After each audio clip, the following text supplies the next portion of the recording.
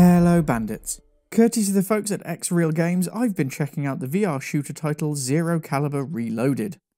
Following up the well-regarded Zero Caliber for premium PC-linked headset, Zero Caliber Reloaded runs natively on the Oculus Quest and Quest 2 standalone platforms.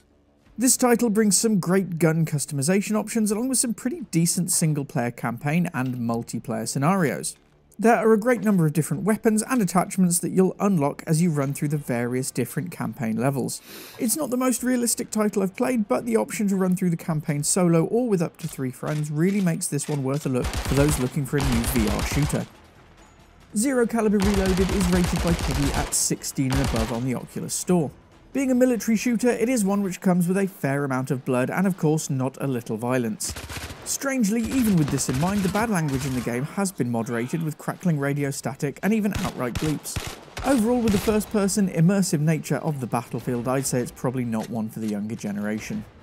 In terms of accessibility, Zero Caliber Reloaded picks up a rating of moderate, matching its rating on the official Oculus Store.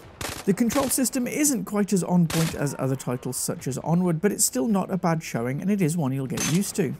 The flick stick controls to stand and crouch and also jump do mean that it's playable sitting or standing and even with limited mobility, and there are the usual left and right handed options too.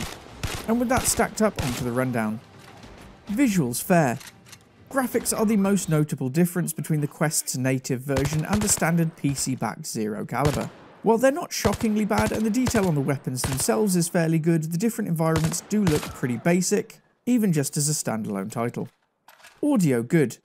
There is some great use of audio effects and music in this one, and the voice acting is actually much better than expected, even if it's far from perfect. It's clear that focus has been put into the armory effects, which really is the thing that most people will be grabbing this one for. Narrative good. Again, this is much better than expected, and there's a decent little background narrative through the campaign levels. While I was looking forward to the gunplay here, I've actually found myself quite engaged with the story, which was a quite welcome surprise. Replay great.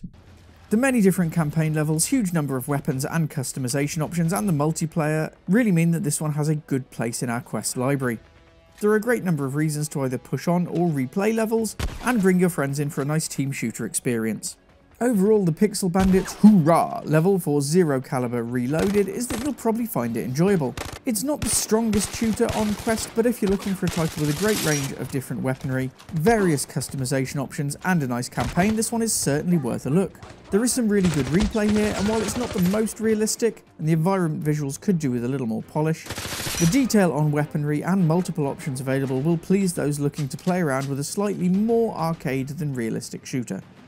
And that's all I've got for you today. Don't forget to check out the extended review at pixelbandits.org and keep your eyes out for more news, reviews and live streams coming soon.